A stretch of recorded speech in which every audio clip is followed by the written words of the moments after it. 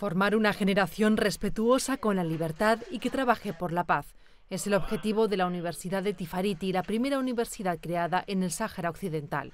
Fundada hace cuatro años, cuenta con estudios de pedagogía, enfermería, informática y periodismo, 600 alumnos y 40 profesores.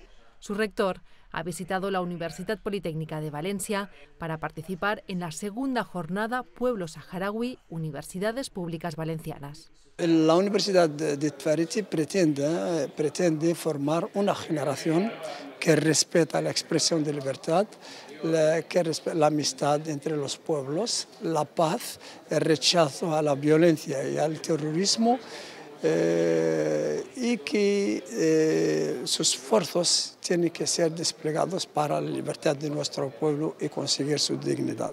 La jornada forma parte del compromiso adquirido por las universidades públicas valencianas hace dos años con la firma de un convenio de cooperación. A partir de ahí, cada universidad ha aportado su grano de arena en función de sus posibilidades. Entre otras cosas, la UPV ha realizado campañas de recogida de alimentos y juguetes y ha trabajado para dotar de material a la universidad. El que hem fet és subministrar eh, a través de la MT transport, perquè el problema de, és manejar-se entre els campaments.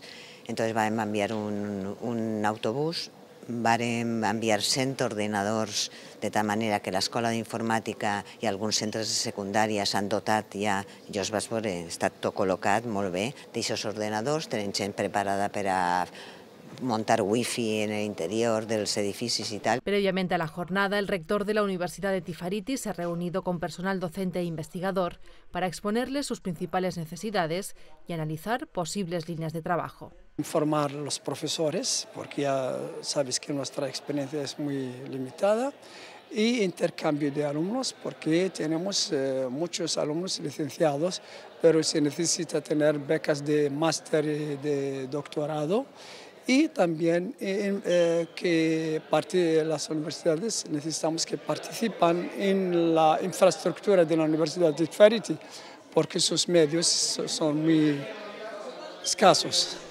Durante la jornada se ha profundizado en el rol de las universidades valencianas en el fomento de la educación superior en los campamentos saharauis, el papel de la mujer y el muro del Sáhara Occidental.